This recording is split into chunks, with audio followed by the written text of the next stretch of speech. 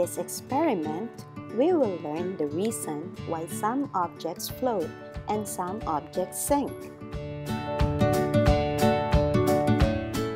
In doing this experiment, you can try different objects around you.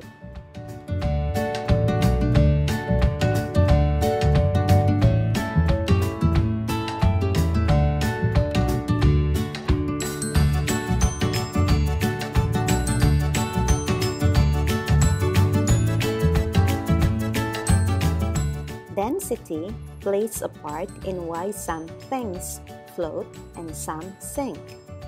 An object that is made up of tightly packed molecules is more compact and denser than the water. That object will sink. An object that is made up of molecules that spread out or loosely packed will be less dense than the water. That object will float.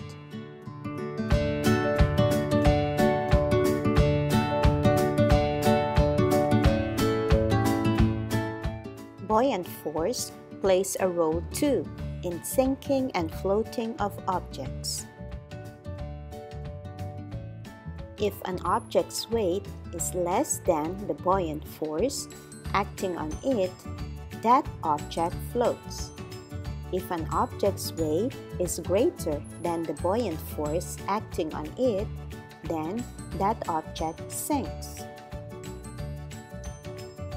In this experiment, objects like drinking straw, popsicle stick, bottle cap, rubber band, wooden clothespin, and plastic ball float on the water.